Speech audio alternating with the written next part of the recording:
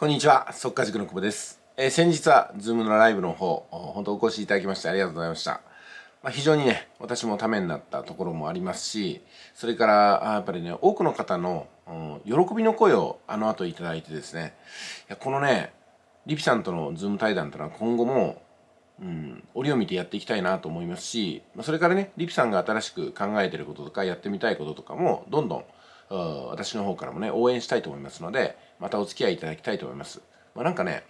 あの結構この体の枝を保有してる方のニーズっていうのは強いんじゃないかなと思うんですね。でこれから体の枝を保有したい方もこのねリピさんとの対談もしくはそのリピさんが作ってくださる動画見たがるんではないかなと思いますんで、えー、これからもね情報発信の方よろしくお願いします。で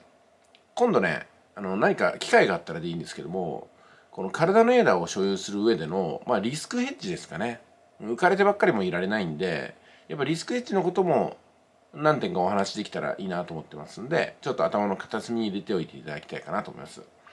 私の場合はあまあ言うまでもなく余剰資金でこれから体のエラー買う方はね余剰資金でやることそれからまあ復元フレーズなどは絶対にね人に教えないと。でこう紙に書いてね紙に書いてどっかに保管しておくしかもその紙に書くものも復元フレーズを3つか4つに分割してそれぞれ、えー、パート1パート2パート3みたいな感じで分けて3箇所とか4箇所に置いとくといいのかなと思いますね。うん、やっぱこう体の枝っていうのはこれからあのなんですかねゴールドとかねマネーとかとね同じぐらいの、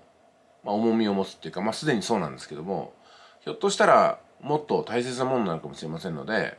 まあね、今みたいに、こう、熊平の金庫に預けておくみたいなことがね、なかなかできないかもしれませんので、この暗号通貨時代のリスクヘッジや保管方法、資産を守るってことについてもお話しできたらいいなと思ってます。えそれでは、今回は以上です。動画の方ありがとうございました。またお願いします。